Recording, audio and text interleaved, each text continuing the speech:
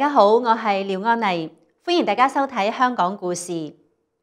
香港經濟係喺二十世紀七十年代開始起飛嘅，與此同時，亦都崛起咗一班香港嘅富豪。佢哋喺捉緊時代機遇嘅同時咧，亦都極力咁樣推動住香港經濟嘅蓬勃發展。喺香港嘅發展史上面，留下咗不可磨滅嘅印記。著名嘅港商霍英東就係名人堂入边嘅其中一位啦。前特首曾蔭權曾經講過，佢話全香港無論上中下左中右，冇人係唔讚揚霍先生嘅，證明佢已經獲得咗香港嘅人心。甚至喺一九七八年第十一屆三中全會嘅前夕，霍英東仲特別被邀請去到北京接受領導人鄧小平嘅接見。提前知道咗內地開放嘅信息。另外喺一九九七年香港回歸之前，佢曾經一度係第一屆特首嘅熱門人選。雖然結果唔同，但係當選者董建華亦都係霍英東一手推薦嘅。對於佢嘅一生，曾經有人寫書研究。中山大學哲學系教授何博全呢就被邀請為新書寫序。佢話：霍英東太有名、太複雜、太多人研究，甚至係太敏感、太多傳言，有太多誤解啦。所以我唔敢研究霍英東，更加唔敢寫霍英東。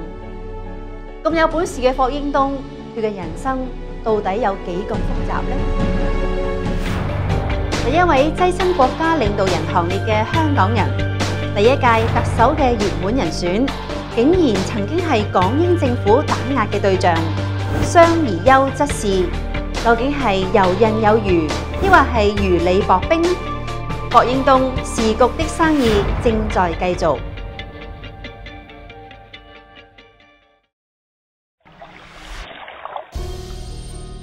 霍英東係一九二三年出生喺香港嘅一個水上人家，佢雖然好窮，但係憑住出色嘅經商頭腦。喺上世紀嘅四五十年代混亂嘅時代之中，佢就把握商機，異軍突起，仲藉住房地產嘅開發而躋身入去香港嘅富豪團。中英就香港主權問題嘅正式談判係始於一九七九年。作為出色華人港商嘅霍英東，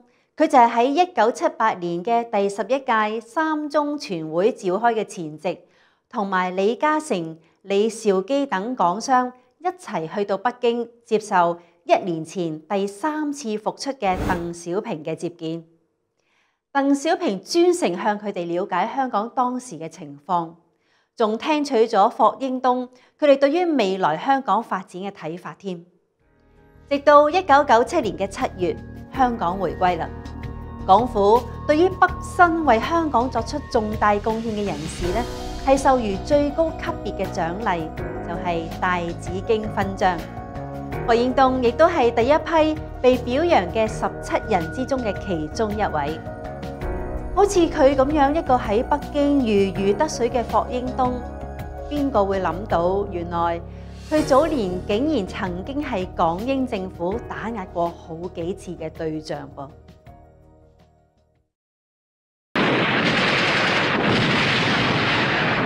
一九五零年嘅六月二十號，朝鮮戰爭爆發，聯合國通過咗對中共新政權實施封鎖、制裁、禁運嘅條約。英國殖民管治下嘅香港，跟隨住英國政府，亦都加入禁運。不過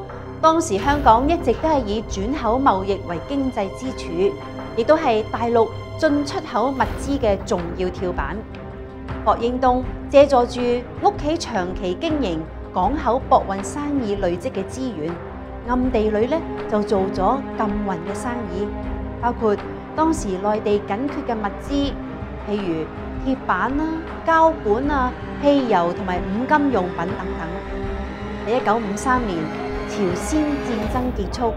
霍英東拎住賺取咗嘅第一桶金咧，就試圖去尋找新嘅商機啦。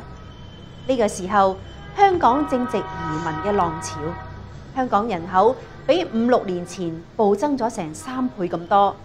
而當時嘅香港居住樓宇嚴重短缺，好多地方嘅天台、走廊都住滿咗人。於是霍英東就睇準咗機會，投身地產發展。霍英東投身地產，面對住朋友嘅勸阻，佢都冇理到，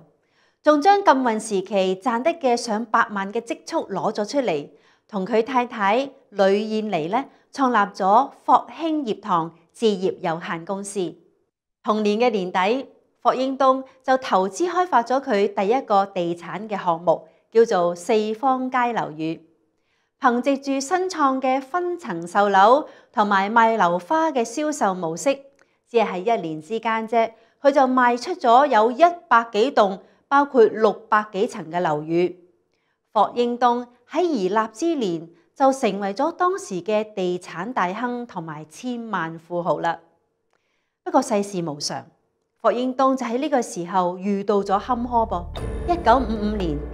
正當霍英東旗下嘅新樓盤熱賣嘅時候，市場上边突然間傳出咗話霍英東要俾港英政府遞解出境嘅消息，火熱嘅熱賣場突然之間就靜晒落嚟，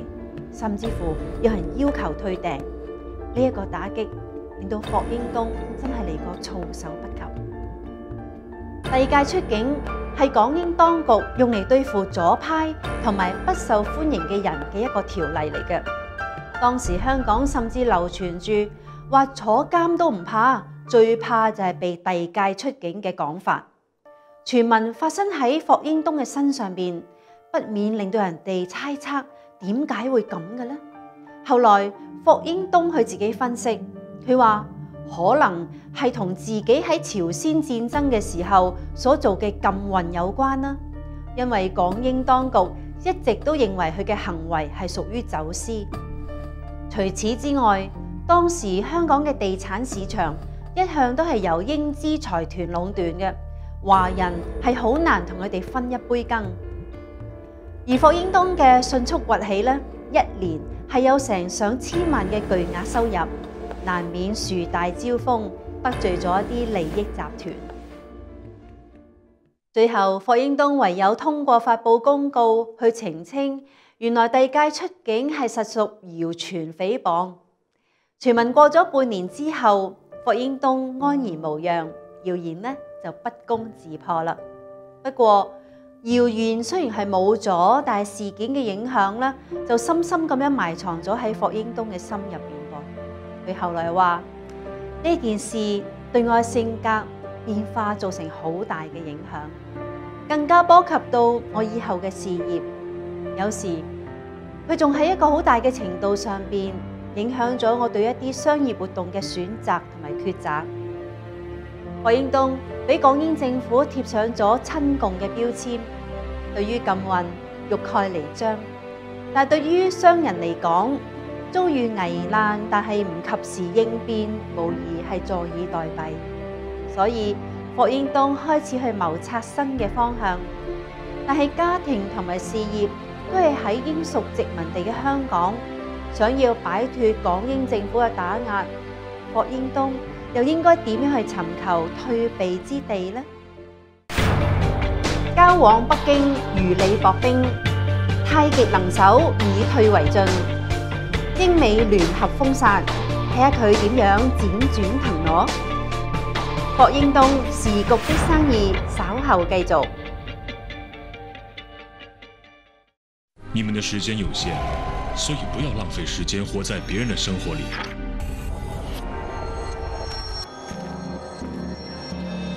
不要被教条所局限，最重要的，拥有追随自己内心与直觉的勇气。不要让别人的意见淹没了你内在的心声。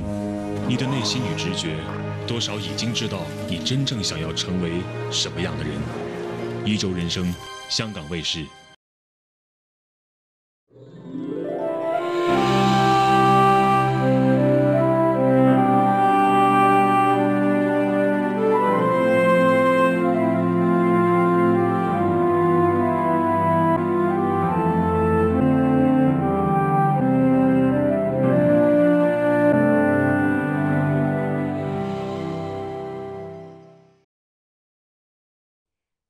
自從新中國成立以後，香港一直就係中共統戰嘅主要戰場。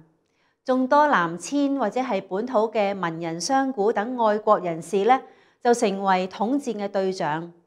喺一九六一年，時任香港新華社統戰部長嘅何銘詩同埋三十八歲嘅富豪霍英東就攞到呢個聯繫，並且牽線霍英東同新華社嘅高層正式接觸。第二年，霍英东嘅商業版圖就擴展到中國大陸啦，開啟咗同大陸方面嘅第一次合作，就係由廣州五礦公司向霍英東供應海沙。其後喺一九六四年，霍英東受邀以香港同胞國慶親禮團副團長嘅身份呢，就去到北京參加國慶十五週年嘅盛典。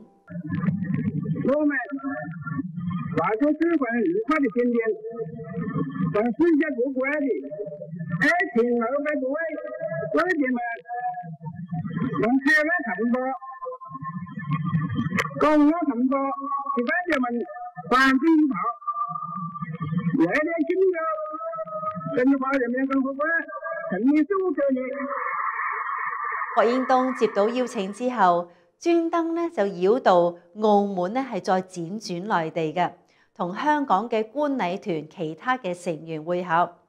點解佢要咁樣輾轉法呢？佢話嗰陣時咧，中英關係比較緊張，香港嘅親中人士通常都唔夠膽公開同北京方面有來往嘅，所以唔少人如果要去大陸，一般都係會選擇繞道澳門，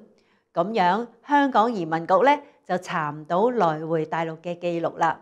翻嗰段嘅時間。為咗自己嘅生存同埋利益，一方面盡量要改善同港英政府嘅關係，而另外一方面呢，又希望可以同大陸接觸，建立好友好嘅關係。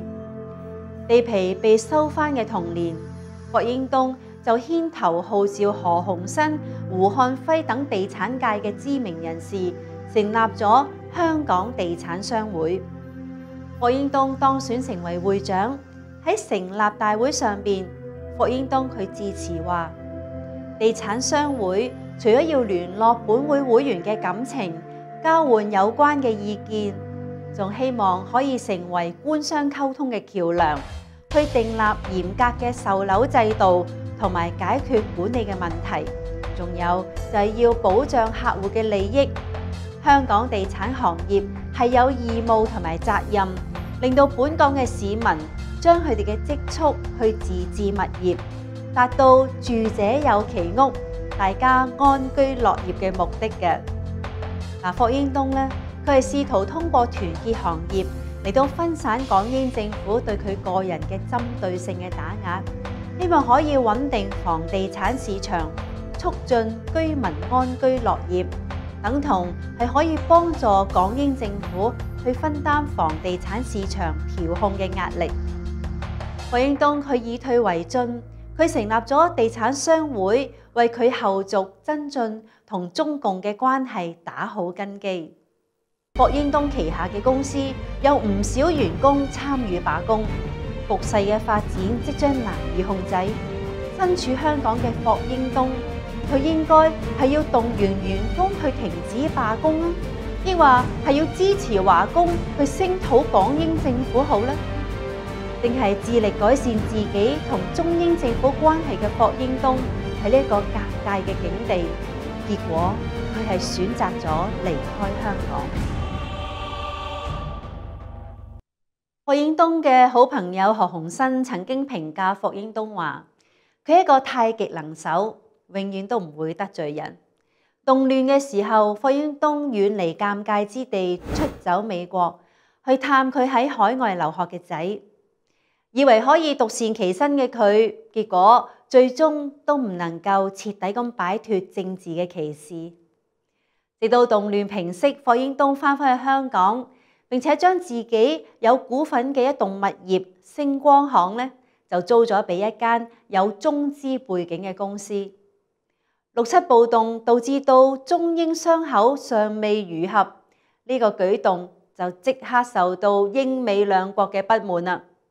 美國領事明確咁樣宣布，佢話所有星光行嘅租客都唔能夠去買賣美國嘅貨品，而且仲威脅已經租用咗嘅客戶唔俾佢哋用電話添。星光行最終係以三千七百五十萬賣咗俾一間英資公司，叫做置地，而且喺交易嘅時候，其中嘅兩千萬呢，竟然仲係用一張叫做承諾票據嘅形式去俾錢嘅啫。六七風暴之後，中英關係處於低潮，香港經濟陷於癱瘓，資金大量外流，港人亦都大量移民。中共喺香港嘅統戰工作就變得艱難而迫切啦。根據當時香港新華社統戰部長何銘詩撰文表述話：喺六七風暴之後，香港幾乎冇人去理我哋，我哋就捉住幾個人，一個就係利明澤，另外一位就係霍生。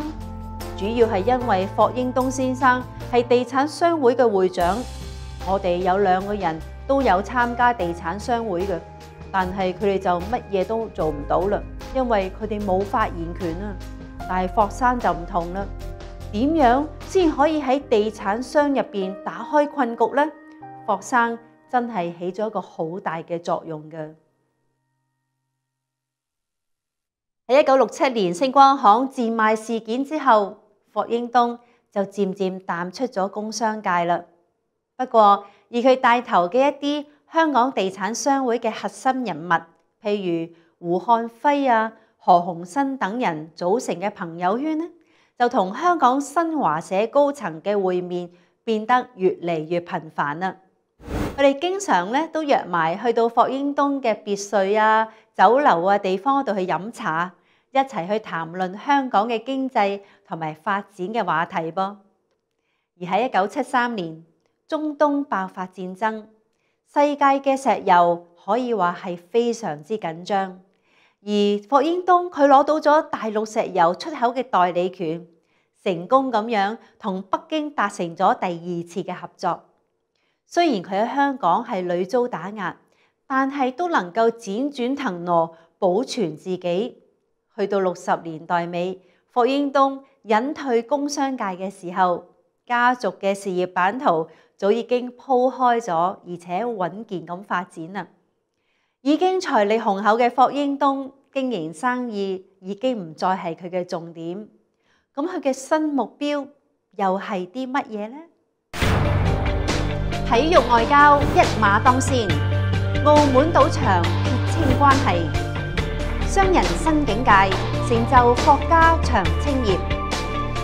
霍英東時局的生意正在繼續。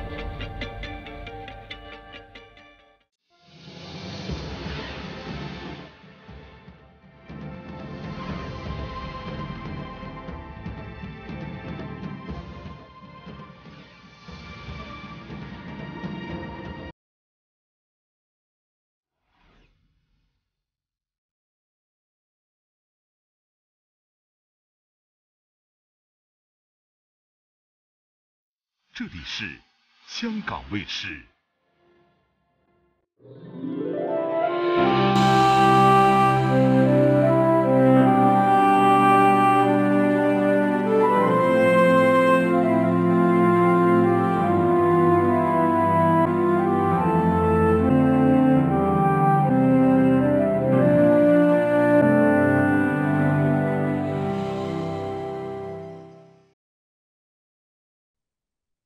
一九七八年，中共第十一屆三中全會召開，全會作出咗實行改革開放嘅新決策，准許吸收外國嘅資金、先進嘅技術同埋管理經驗，用喺大陸嘅經濟建設。就喺會議召開嘅半年之前，霍英東同埋李嘉誠等知名嘅港商呢，就應邀去到北京。喺北京，時任國家領導人鄧小平，特別會見咗佢哋，向佢哋了解香港嘅狀況，仲征求對香港前途嘅睇法，同時仲透露咗中國將會實施改革開放嘅政策。喺一九八零年同埋一九八二年，霍英東喺內地先後投資興建嘅中山溫泉酒店同埋白天鵝賓館呢，就順利開業啦。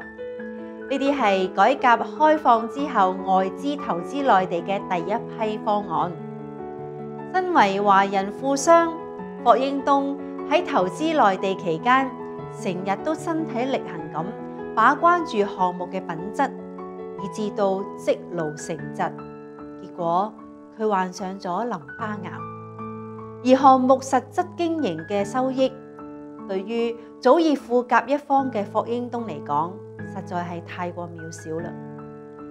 许英东喺晚年嘅時候，佢講：